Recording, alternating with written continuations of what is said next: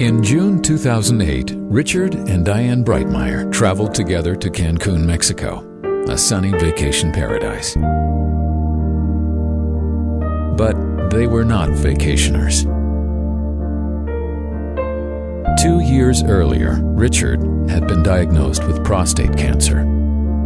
His doctor had discussed traditional treatment options with him, treatments such as surgery, radiation, and hormone injections. However, all were accompanied by side effects that Richard found undesirable. The cancer had been growing very slowly, but recently his doctor said that it was too advanced to ignore.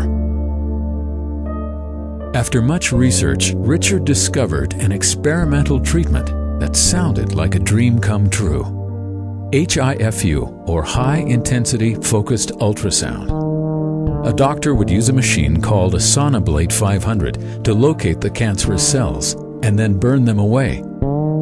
This one-time procedure was minimally invasive and carried very few side effects. HIFU had actually been developed in the US, but was still in the very initial phases of testing.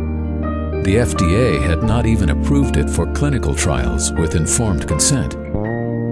The only option for those wishing to undergo HIFU, like Richard, was to fly to Mexico.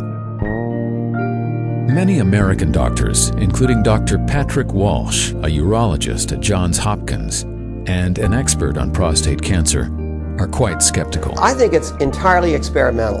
Uh, that, that any enthusiasm that's being gendered for it is really coming from the industry that makes a machine.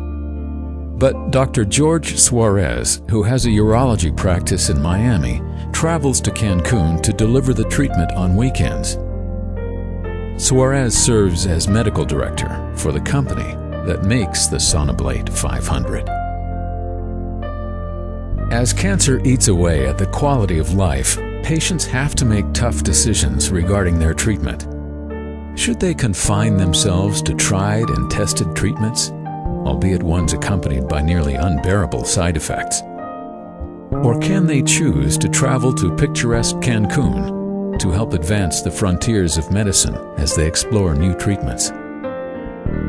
We'll be talking more about the issues raised by risky and experimental procedures in Lesson 3 of Medicine and Morals.